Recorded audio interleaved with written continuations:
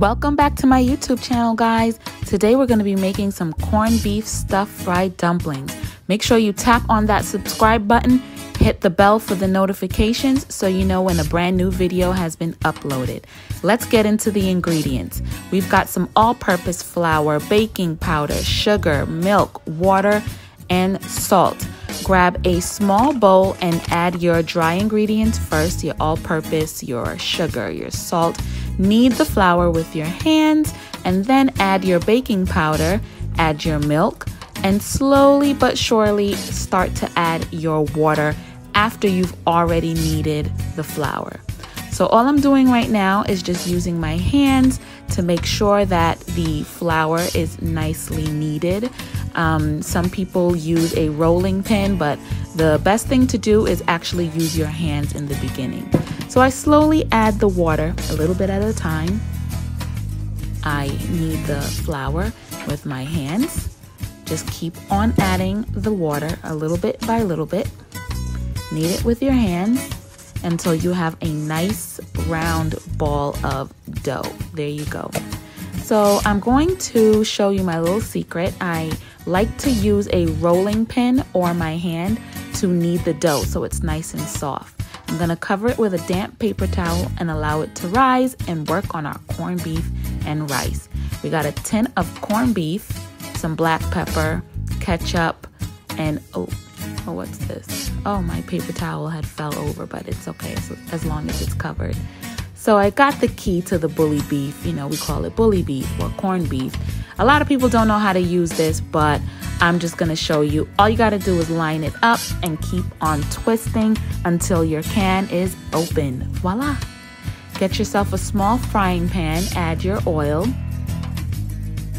Make sure your oil is heated for about one to two minutes before you start to add your onions, tomatoes, and green pepper. I saute that a little and I also like to add a little bit of ketchup in there and continue sauteing for at least 30 seconds to a minute before I add my corned beef. Now, I don't really like the corned beef to be very shredded or minced, so I tend to keep it very thick and chunky. So I do that and I add just a little bit of water, not too much because we don't want to make it into a soup, of course. I sprinkle some black pepper and then I cover it up. Now let's make our dumplings. I pinch off a little bit at a time and then I roll it into my hands. Continue rolling, continue rolling. And I make sure I form all of the dough balls first because sometimes it'll burn when you put one in there and then go to work on the rest. So I formed all of my dough balls. I lined them all up on a cutting board and then I add them into the frying pan. If you want a more detailed video for this, um, there is a video on my YouTube channel, actually. I'll put the link in the description box. So I'm just flipping them over on all sides. Contrary to popular belief, you really don't need a lot of oil to make this happen. I never use a lot of oil. Um, I'm going to add my plantain into the pot with the oil right there. I'm coming back over to my fried plantain. I'm making sure that they're brown equally on all sides. And you really got to keep your eye on these because these can burn very easily. So flip them all over. Make sure your fire is on a low to medium as well. I have to mention that because you don't want to burn it on the outside and have raw dough on the inside. That's a result from your fire being too high. So remember, keep it low and also make sure you check on those plantains because they have a tendency to burn when you're not looking. There goes our corned beef. I steam that for about 15 to 20 minutes. Now I'm just frying the plantain and making sure I drain it on a paper towel so that we don't leave it all greasy.